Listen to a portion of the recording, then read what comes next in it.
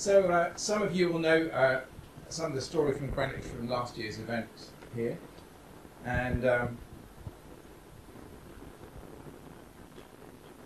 here we go. So this picture is actually three years old. This was taken not long after I started at Greenwich three years ago.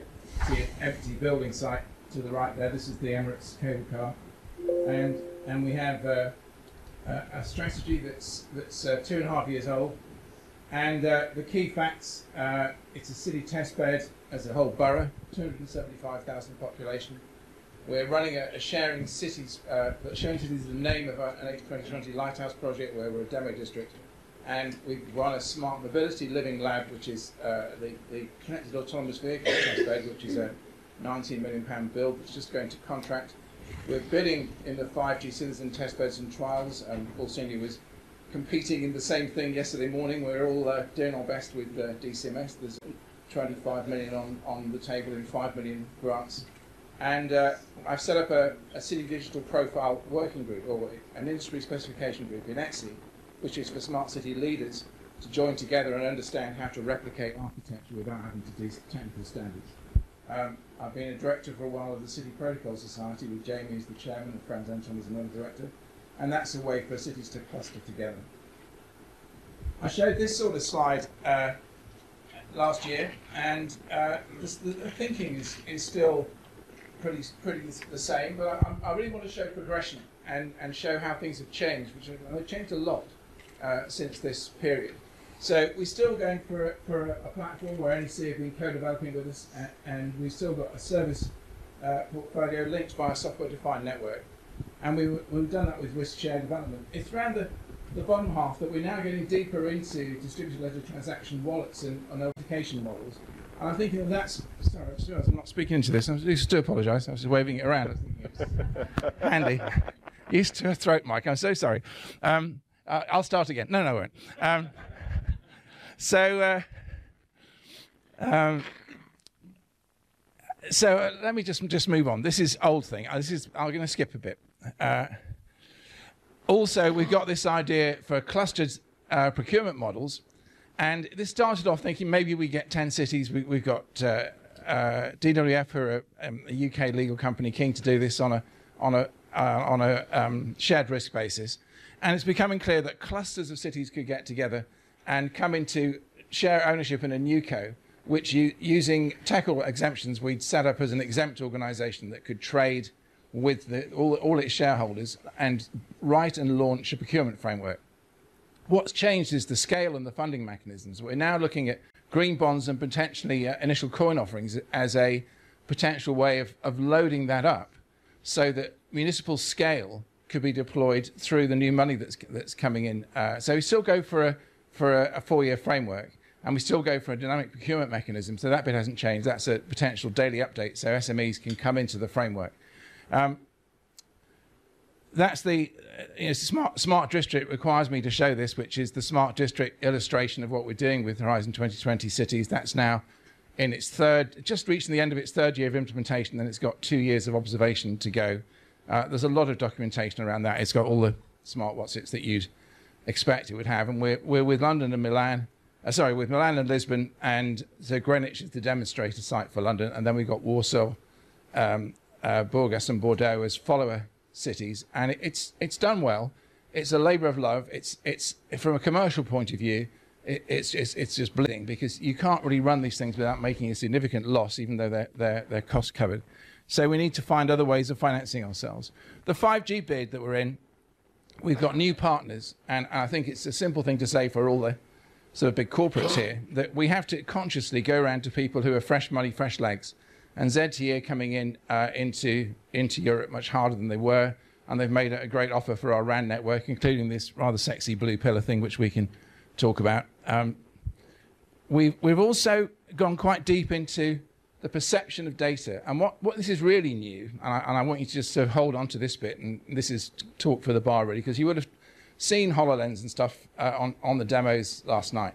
Uh, what I want you to imagine is the citizen can be immersed in the data and see it in an augmented or mixed reality or what Qualcomm calls extended reality. It's all much the same thing. So if you look out of that window and there are air quality sensors on the tops of those buildings, you can flick on the layer on your glasses, which may, be just like these in a few years' time, And if you want to, you can see whether those sensors are okay. Now, where it gets really interesting is if you're interested in the detail, you reach up with your HoloLens interface, you click on that sensor image, and you open its blockchain wallet, and you look at its data.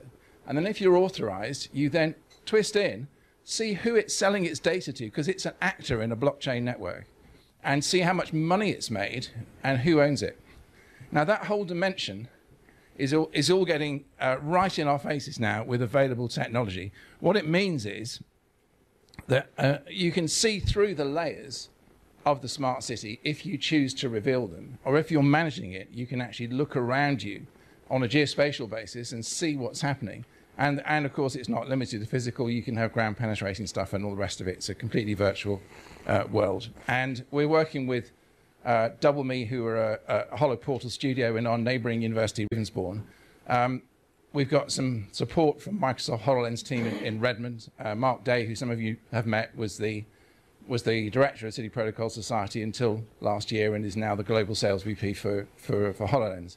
So there are lots of, sort of interlinkages here that are interesting. Um, the key is security, and we've brought in, in, this is coming in anyway, but it's in our 5G bid, Rivetz, which is, and this is a generic technology. They're not unique, but I think one of the best around, which is hardware encrypted onto the chip so that you get uh, self authenticating hardware that the operating system can't see. And this is absolutely critical technology. When you put it with that enabled chip, that's how you bond the, the, the blockchain onto the individual device, which could be a sensor, could be a phone. So you've got trusted execution and you've got really secure interfaces with citizens and with other actors in your IoT network. Now, this is, you know, I'm going down the technical route. I'm not giving you the spiel that we give, give a citizen, but it is, it is all about citizens and particularly about their authentication. And the service mix that I'm going to skip for now is, is all these things in, in that block there, um, including voting and polling. Uh, and that integration with the polling mechanism, and I'm completely on with, with James. So we've got ele- elections in, in May. Uh, the whole council is, is, you know, grounded. We're, we're, out in Taipei. No politicians are coming. They're very busy in, in, the, in the run up to the uh, elections in May. Um, but at this level, the cycle we're talking about is securing power, generating finance, executing, demonstrating benefit, and loop. Demonstrate benefit, happiness, reinforce power raise finance, execute. And the gap between finance and execute is your procurement model. And the substrata of this would be a slide, and I do well, but it's just not there at the moment. the, the substrata of execute is a standards environment, and that's what we're doing in ETSI.